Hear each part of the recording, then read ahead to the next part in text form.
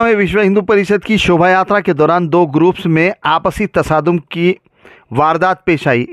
इस दौरान गाड़ियों को आग लगा दी गई, मुलाजमीन पुलिस समेत पाँच अफराद ज़ख्मी हो गए और ये वीडियोस मुख्तलिफ़ सोशल मीडिया प्लेटफॉर्म्स पर वायरल हो गए। रियासत हरियाणा में बजरंग दल और विश्व हिंदू परिषद वीएचपी की तरफ़ से निकाली गई ब्रिजमंडल जलभिषेक यात्रा के दौरान पीर को दो ग्रुप्स के दरमियान तसादुम में दो पुलिस मुलाजमीन समेत कम अज़ कम पाँच अफराद जख्मी हो गए। पुलिस के मुताबिक यात्रा कोनोआ के खेडला मूड के करीब नौजवानों के ग्रुप ने रोका और मुबैना तौर पर पथराव किया और एक यादवकारों को आग लगा दी गई। मीडिया रिपोर्ट्स के मुताबिक, नोह के मेवात में शोभा यात्रा के दौरान दो ग्रुप्स आमने सामने आ गए और दोनों में तसादम हो गया। बताया जा रहा है कि कई राउंड फायरिंग भी की गई और मुतद गाड़ियों के साथ तोड़ फोड़ भी की गई। इस तसादम में कई अफराज ज़ख्मी हो गए हैं, जिन्हें इलाज के लिए फौरी तौर पर हॉस्पिटल्स मुंतकिल किया गया है।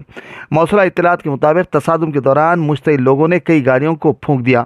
कशीदगी को देखते हुए पुलिस फोर्स की भारी जमीत तैनात कर दी गई। सूरत हाल की कशीदगी अख्तियार करने के बाद हरियाणा हुकूमत ने नोह ज़िले में दो अगस्त तक इंटरनेट खदमात को मअतल कर दिया है।